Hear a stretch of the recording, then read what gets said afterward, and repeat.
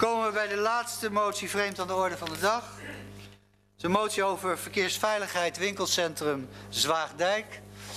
Meneer Seilemaker, wilt u me even kort toelichten? Ja, dank u wel, voorzitter. Voorzitter, we kennen allemaal de situatie bij het winkelcentrum in, eh, in Zwaagdijk eh, Oost. Uh, gevaarlijke situatie, met name bij, bij het fietspad, de inrit naar het in- en uitrit naar het, naar het winkelcentrum. We hebben daar in het verleden al diverse keren over gesproken, vragen over gesteld, et cetera. twee jaar geleden is er een motie aangenomen van PW 2010 en die ging toen ook al ervan uit dat er zo snel mogelijk zaken moesten, moesten gebeuren. daar zijn toen ook toezeggingen gedaan door het college op, op dat punt. Maar we zijn inmiddels uh, twee jaar verder en er is uh, nog helemaal niets uh, gebeurd. Dus wij vinden dat het tijd wordt om, om daar nu op korte termijn iets aan, te doen. En de reden daarvoor dat ik daar nu mee aankom, overigens met steun van GroenLinks, PW 2010, D66, ChristenUnie en de BAM, is dat er onlangs een, een, een, meisje daar heel, nou ja, behoorlijk zwaar gewond is do door een auto aangereden op, op die plek. Dus ik vind dat dat uh, de laatste druppel is uh, die de emmer doet overlopen. Dus ik vind dat er nu op korte termijn wat moet gebeuren. Ik weet dat er allerlei plannen zijn voor herinrichting daar in de omgeving en dergelijke. Maar we weten ook allemaal hoe lang het duurt voor zoiets nou ja, uiteindelijk uitgevoerd kan worden. Dat gaat jaren duren. En wij vinden dat voor die tijd de veiligheid aangepakt moet worden. Dat is het, dank u. Goed, dank u wel voor de toelichting. Ik ga de eerste termijn openen. Meneer Berenpoot, Ginhuis, Mos, meneer Beuker, meneer Neefjes. Ja, meneer Lichthart. Meester. En meneer Meester natuurlijk. Um, meneer Berenpoot, wilt u aftrappen? Nee, is goed. Uh, wij vinden het een sympathieke motie, staan er in principe positief tegenover. Maar we willen eerst graag de mening van de portefeuillehouder hierover weten. Dank u wel. Meneer Ginhuis. Dank u wel, voorzitter. Vooropgesteld dat ik de intentie van de motie helemaal begrijp. Het is, het is een situatie waar we allemaal verbeteringen in willen zien. Wat we ook begrepen hebben is dat de gemeente in een afrondende fase zit met de eigenaar van het winkelcentrum. Wat ons betreft laat het college zijn werk doen en het dossier gaan afronden. Met de heer Streng natuurlijk als portefeuillehouder. En ja, ook ik heb notie genomen van het ongeval van een 12-jarig meisje wat uit school op weg naar huis fietste. En ja, ook van heel dichtbij heb ik ook meegemaakt dat daar een oude man van een scootmobiel uh, is gereden. Um, de overeenkomst van beide ongelukken was dat de bestuurder vanuit de Tuinstraat kwam.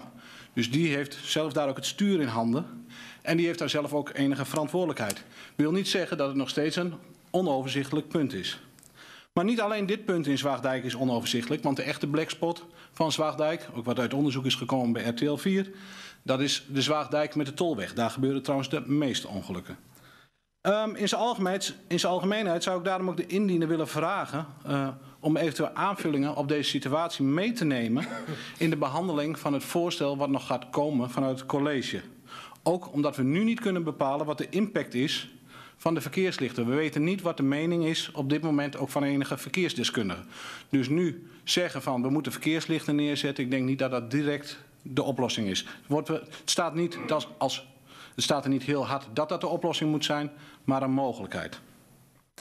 Um, als deze motie een signaal is van let op gemeente, eigenaar, kom zo snel mogelijk tot overeenkomst met elkaar. Ja, dat begrijpen we zeer zeker en daar hopen we ook van harte op. En aanvullend nog wat vragen voor, voor uh, portefeuillehouder. In, in ieder geval, wat is de mening over dit voorstel? Wat is de stand van zaken op dit moment? En hoe lang duurt het voordat het plan naar de raad komt nadat er overeenstemming is bereikt? Dank u wel.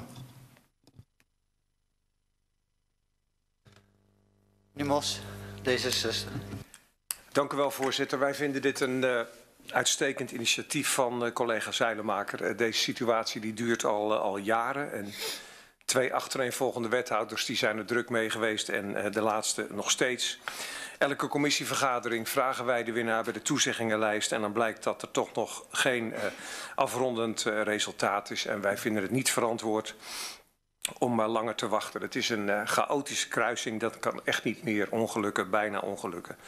Dus we hebben ons hier graag bij uh, aangesloten. Ja, ik begrijp van de heer Gringhuis dat op dit moment de wethouder met, met de exploitanten in afrondende fase zou zitten. Ik wist dat niet. Hij weet blijkbaar meer dan ik. Maar goed, dat, uh, dat kan soms uh, gebeuren in het leven. Uh, maar als er inderdaad aanwijzingen zijn dat, dat de zaak bijna rond is... dan horen we het wel van de wethouder. Dan kunnen we altijd kijken ja, of dat voldoende is. Maar voorlopig denk ik deze motie maar even in de lucht houden. Dank u wel. De meester. Kijk, de verkeersveiligheid is vooral ons hoogste goed. Dat alle deelnemers aan het verkeer veilig op en neer kunnen, van huis naar hun werk, noem maar op. En als er dan kruispunten zijn, zoals bij uh, Klaverweide in, uh, in Zwaagdijk, en er zijn al een paar ongelukken gebeurd, en gelukkig niet met dodelijke afloop. Maar moet je nou eens voorstellen dat de volgende week een ongeluk is met dodelijke afloop. En wij zitten hier al drie jaar lang, wat meneer... Mos net ook al aangaf. De derde wethouder is hier al mee bezig. Jongens, dan uh, gaat er iets niet goed als er dus echt een dode gaat vallen. Want dan ben wij toch min of meer verantwoordelijk voor die situatie daar. Dus dit moet eigenlijk zo snel mogelijk worden opgelost. En als het niet goed schiets kan, dan maar met stoplichten. En daarom steunen wij ook deze motie.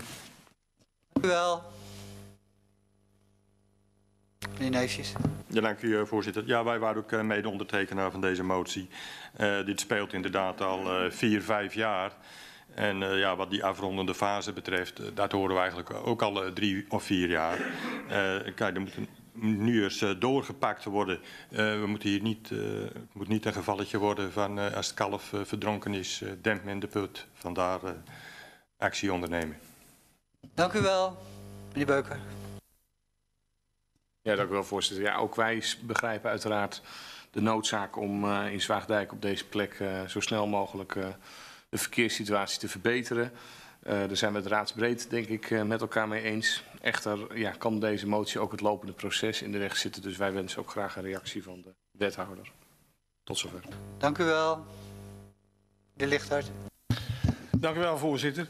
Ja, dit onderwerp dat kent al een, een, een behoorlijke geschiedenis. Ik heb jaar, uh, getallen gehoord van drie, vier jaar. Nou, volgens mij is het dan meer dan zes jaar.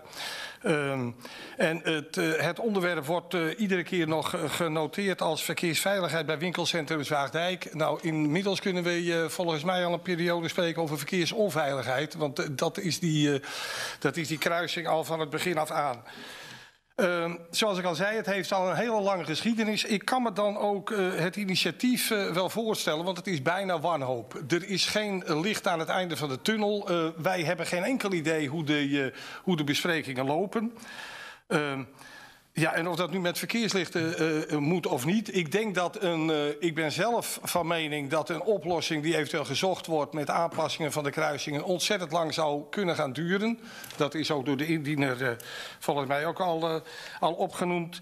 Dus je, ja, dan moet er maar een soort tussenoplossing gezocht worden, zodat het daar je op zo kort mogelijke termijn veilig wordt. En we horen graag van de wethouder hoe die op dit uh, op deze motie reageert, maar ook eventueel op de al genoemde uh, overleggen die een einde uh, gaan naderen.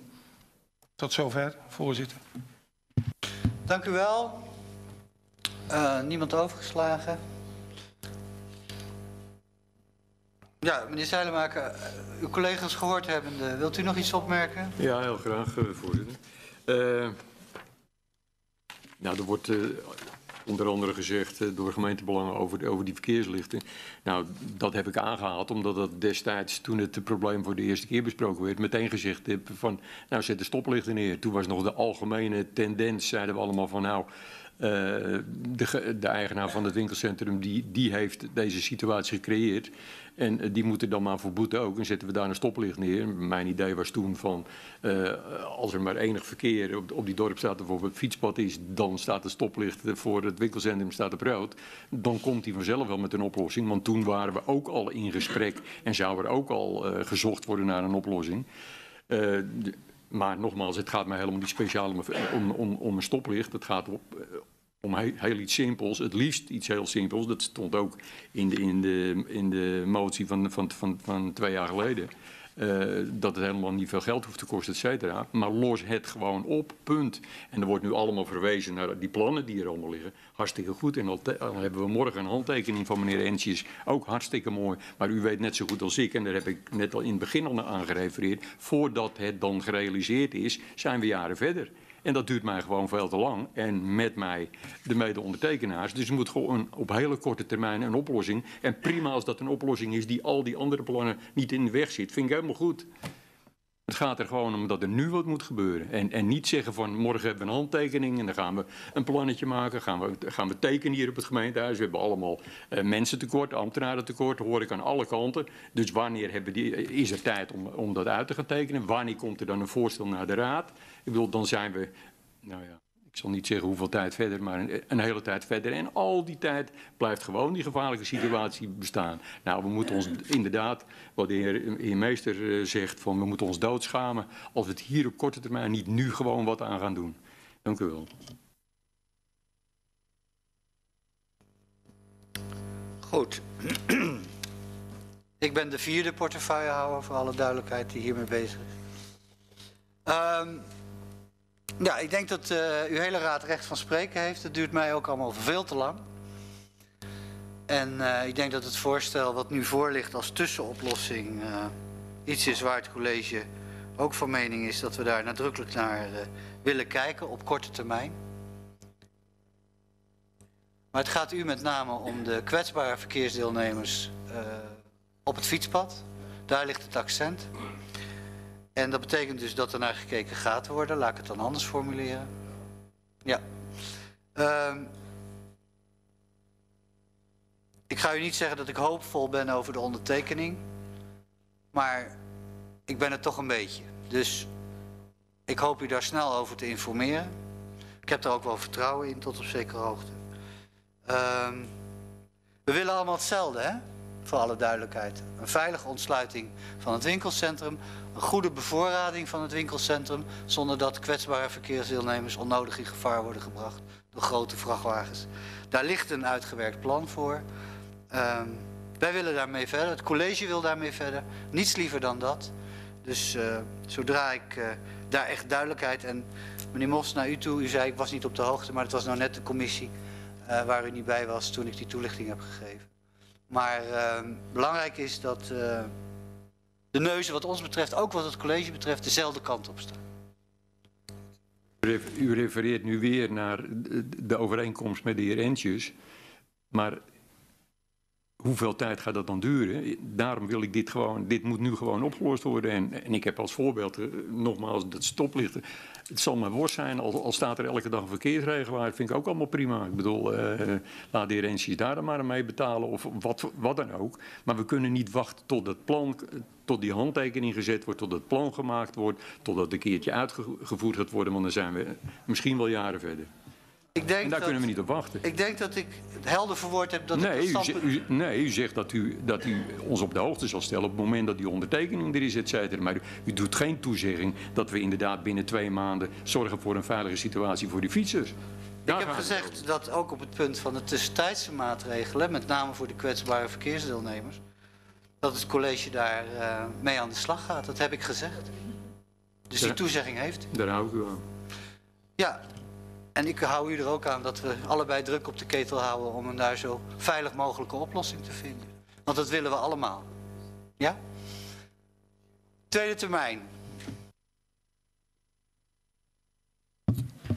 Nog een, eh, een, vraag aan de heer Zijnmaker of eventueel een tekstsuggestie. En het, eh, en het draagt het college op. Om in ieder geval eh, op dit moment even het verkeerslichtenverhaal eh, te schrappen. En ehm, de zin zo te maken voor 1 mei 2020 een verkeersveilige situatie als overgangssituatie met name voor fietsers te creëren. Omdat je op die manier ook eh, richting de toekomst eh, dat ook weer kan opheffen.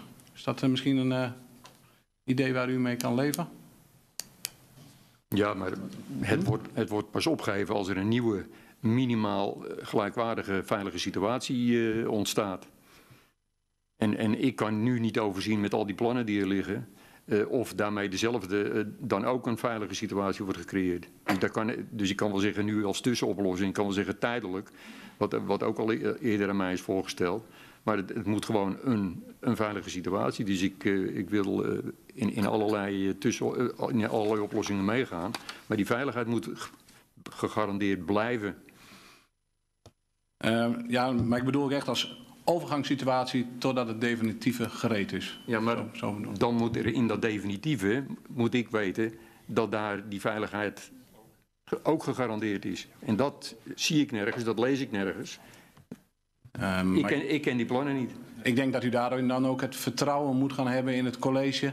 Als er een definitief voorstel komt, dat dan ook een, een, een, eh, ja, een voorstel ligt... wat ook zeker voor de zwakkere verkeersdeelnemers ook geborgd is. Ja, maar u kunt toch ook het vertrouwen in, in het college nu hebben dat, dat een, een situatie als dit tijdelijk iets is met al, al dan niet met verkeerslicht of wat voor, wat, wat voor manier dan ook. Dat als het niet meer nodig is, dat het opgegeven wordt. Ik bedoel, dat lijkt mij ook heel logisch. Dat vertrouwen kunt u toch ook hebben? Ik, ik zie dat verschil niet. Ja, ehm, ik denk dat het belangrijk is om aan te geven dat de verkeersmaatregelen die we nemen, met name voor de kwetsbare verkeersdeelnemers, dat die effectief zijn, want daar doelt u op. Ja. Eh, of we dan praten over een knipperbol of een verkeerslicht of eh, andere signalering. eh, dat is aan het college. Wij zullen daar serieus naar kijken om dat, om dat goed op te pakken en serieus op te pakken. En in die zin denk ik dat het een overgangssituatie is naar een definitieve aanpak waar ik uw raad nog over zal informeren. Dus hier en nu adequate voorzieningen, met name voor die kwetsbare verkeersdeelnemers. eh, waarbij je kan denken aan eh, allerlei verkeerstechnische oplossingen die misschien wel de effectiviteit overtreffen van een verkeersregelinstallatie. Maar daar wil ik nog graag even op kunnen studeren. U zegt 1 mei, daar doen we ons best voor. Oké. Snap de overgang die u nu bepleit in de motie. Ja, ja. Oké, ik, eh, ik, ik ga er even met mijn mede-indieners over hebben, dus ik wil graag eh, een paar minuten schorsen. Zien we u zo terug? Ja. Dank u wel. Ik heb, ik heb nog één vraag eh, aan u. u. Misschien een kleinigheidje, maar u zegt net tegen mij dat ik die informatie niet had. Een commissievergadering waar ik niet bij was. Ehm, ik zie dat in de actieve, of in de toezeggingen en motielijst van 30 januari, de laatste commissie waar ik overigens wel bij was, dat daar nog in staat in februari overleg met ondernemer. Nou, dat zijn kreten die horen we al jaren, maar dat er iets van afronding zou zijn, dat heb ik daar niet gehoord. Ehm, nee, maar ik herinner me wel dat ik een korte toelichting heb gegeven op eh, de bestaande situatie en waar, waar we nu staan. En dat zijn natuurlijk wel teksten die vergelijkbaar zijn met eerdere toezeggingen. Ja, ik heb dat zo niet eh, begrepen dat het afrondend was, dus, eh, maar oké. Schorsen vijf minuten, dank u wel. Meneer Zeilemaker, alles overwegende. Komt er nog een tekstverandering? Ja, voorzitter, er komt een eh, tekstverandering die eh, luidt als volgt. Draagt het college op voor 1 mei 2020 een verkeersveilige situatie, met name voor fietsers, te creëren als overgangsfase naar een definitieve oplossing. Dank u wel. En de rest vervalt. Zullen we gaan stemmen? Ik wil graag tweede termijn, voorzitter. Ja, kan. Gaat uw gang. Ik ga nog even, kom nog even terug op het punt waar ik zojuist met u over in eh, discussie was. Ehm, ik heb net gezien voor de aanstaande commissie van 5 maart de toezeggingenlijst. Daar staat nog steeds hetzelfde als bij de vorige commissie. In februari overleg met ondernemer. Dus ja, ehm, zo concreet als u het zegt, staat het daar in ieder geval niet in. Dus zo hebben wij dat ook begrepen, dat er weer overleg plaatsvindt. Maar nogmaals, dat overleg dat is er al jaren. En dat, ja, dat is de reden dat ik, eh, dat ik het zo had begrepen. Maar ik hoop dat, ik het, dat het hier niet goed staat. Dus het is ook een reden om dit eens beter bij te gaan houden. Mos, er is geen woord Spaans bij. Wij zijn in overleg met de ondernemer. Ja, maar dat horen wij al jaren dat er overleg is. Maar Nou zegt de heer we zijn in afrondende fase. Ja, dan zegt u, dat heb ik in de commissie gemeld. Maar ik zie gewoon in twee achtereenvolgende commissies... en zelfs voor de volgende, nog steeds staan in februari overleg met ondernemer. Terwijl dit voor de commissie van 5 maart is. Dus dan denk ik van, hoe actueel is onze informatie? Maar daar laat ik het bij. Ja, maar u vindt het allemaal veel te lang duren. Dat is wat u eigenlijk zegt. Ja, u, begint, eh, u probeert een andere wending aan te geven. Ik heb het over de informatieverschaffing. Nee, ik luister naar u en ik probeer het te begrijpen. Heel fijn. Beginhuis. Dank u wel, eh, voorzitter. Ehm, met de tekstaanpassing zullen wij eh, meegaan met deze motie. En wij spreken ook het vertrouwen uit richting het college en richting de eigenaar dat dit niet vertragen zal gaan werken. Dank u wel. Ander onder u, meneer Beerpoot. Wij sluiten ons helemaal bij de woorden van de heer Gringhuis aan. Fijn, dank u wel. Meneer Lichthart. Dat gaan wij ook doen. Dank u wel. Nou, dat gezegd hebbende, ander onder u? Nee, dan sluit ik de tweede termijn af. Dan gaan we nu stemmen. Wil er iemand vooraf nog een stemverklaring afgeven? Nee, dan breng ik de motie in stemming. Wie is voor deze motie?